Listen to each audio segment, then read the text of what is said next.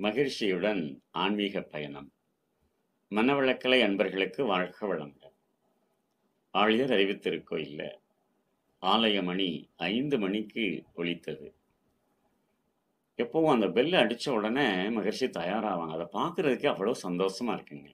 இந்த மஞ்சள் colour Durban எடுத்து தானே தலையில் அப்படியே அழகாக சுற்றுவாங்க அதன் பிறகு அந்த கோட் எடுத்து போடுவாங்க. அப்புறம் மெதுவாக லிஃப்ட்டில் வந்து அறிவித்திருக்கையில் ஒரு மூன்று முறை வலம் வருவாங்க. அன்பர்களெல்லாம் பார்ப்பாங்க. எல்லாருக்கும் சந்தோஷமாக இருக்கும். பார்த்துட்டு அன்னைக்கு உள்ளே வந்தாங்க. உள்ளே வந்து அவங்க சேரில் உட்காந்துட்டு தன்னுடைய கண்களால் ஒவ்வொருத்தரையும் பார்த்தாங்க. இந்த கடைசிலேருந்து அந்த எண்டு வரைக்கும் ஒவ்வொருத்தருடைய கண்களையும் பார்த்து அவ்வளவு தூரம் அழகாக அருள் அலைகளை பாய்ச்சினாங்க. அன்பர்களுக்கு ரொம்ப சந்தோஷமாக இருந்துச்சுங்க. பேச ஆரம்பிக்கிறதுக்கு முன்னாடி உங்களுக்கு ஏதாவது சந்தேகம் இருக்குதான்னு சொல்லி கேட்டாங்க சாமி.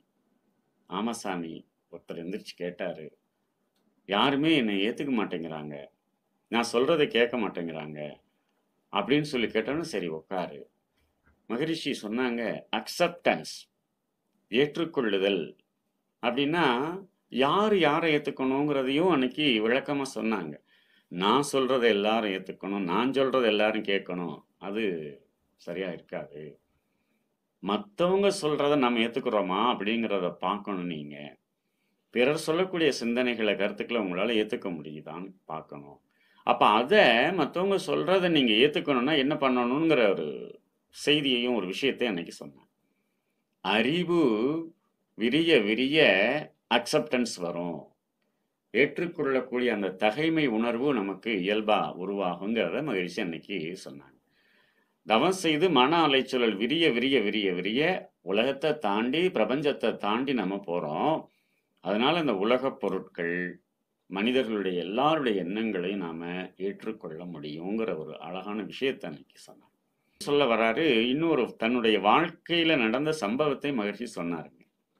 காலையிலிருந்து சாயந்தரம் வரைக்கும் நான் பல செயல்களை செஞ்சிட்ருக்கேன் அப்போ நான் செயல்கள் செய்யும்போது பார்த்தீங்கன்னா எந்தெந்த மனிதரை பார்க்குறோனோ எந்த பொருளெல்லாம் நான் பார்க்குறேனோ எந்த பொருளோட நான் தொடர்பு கொள்கிறேனோ அதெல்லாமே எனக்கு வாழ்க்கை விளக்க பாடங்களை சொல்லி கொடுக்கக்கூடிய இறை தூதுவர்களாகவே ஆசான்களாகவே தெரிந்தார்கள்னு சொல்லி சொல்ல வர்றார்.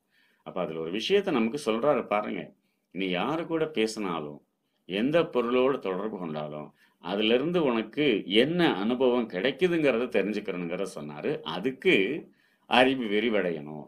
அறிவு விரிவடையணும்னாக்க நீ தவம் செய்யணும். அப்ப தவம் செய்து நீ போக போக என்ன ஏற்படும்? ஒரு ஒரு சிந்தனையை சொல்லி ஒரு கவிதையை சொன்னார். நம்ம எப்போ பிறந்தோம்? எப்போ சாக போகிறோம் யாருக்கும் தெரியாது. இந்த பிறப்புக்கும் இறப்புக்கும் இடைப்பட்ட காலத்தில் தான் நம்ம பல வேலைகளை செய்கிறோங்க அதில் இன்பம் இருக்கும் துன்பம் இருக்கும் கவலை இருக்கும் சோகம் இருக்கும் எல்லாமே இருக்கும். அதை எப்படி நாம வந்து உணர்ந்து நல்ல காரியங்களை செய்து சமுதாயத்துக்கு பயனுடையதாக இருக்கிறதுங்கிறத அன்னைக்கு கவிதையில் மகிழ்ச்சி வெளிப்படுத்தினார் என் ஜனனம் என் மரணம் என் ஜனனம் என் மரணம் இரண்டையும் யானறியேன் என் ஜனனம் என் மரணம் இரண்டையும் யானறியேன் எனினும் அவ்விரு நிகழ்ச்சி என் மனத்தில் கொண்டே. பொன் முதலாய் பொருளனைத்தும் ஈட்டுகின்றேன். எனினும் அவ்விரு நிகழ்ச்சி என் மனத்தில் கொண்டே. பொன் முதலாய் பொருளனைத்தும் ஈட்டுகின்றேன். அவற்றை புவி வாழ்வின் இயல்பொக்க பொதுநலமே கருதி. அவற்றை புவி வாழ்வின் இயல்பொக்க பொதுநலமே கருதி. நன்மையெனும் வழிகளிலே இவற்றை செலவாக்கி. நன்மையெனும் வழிகளிலே இவற்றை செலவாக்கி. நற்சமயம் வாய்க்குமெனில் நற்சமயம் வாய்க்குமெனில் அனைத்தையும் அளிப்பேன் இன்முகமும் எளிமையுமே எனது செல்வம். இன்முகமும் எளிமையுமே எனது செல்வம்.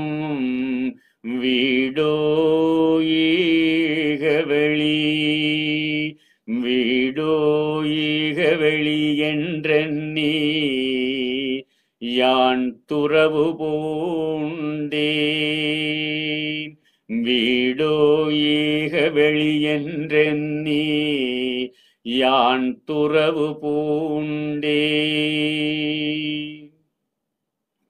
அறிவு விரிவடைய விரிவடைய ஏற்றுக்கொள்ளக்கூடிய அந்த ஒரு நிலையும் அதே மாதிரி உலக பொருட்களிலிருந்து நாம் நம்மளை விடுவிச்சுக்குவோம். உலகத்தில் பற்று இருக்காது. பற்றுனா என்ன துறவுனா என்ன அப்படிங்கிறதை அன்னைக்கு சொல்லி எல்லாரையும் மகிழ்விச்சாங்க. எனக்கும் அந்த சந்தோஷம் இருந்துச்சுங்க. உங்களுக்கும் அந்த மகிழ்ச்சி இருக்கும். வேதாத்ரி மகிழ்ச்சியுடன் ஆன்மீக பயணம் தொடரும். வாழ்க வளமுடன்.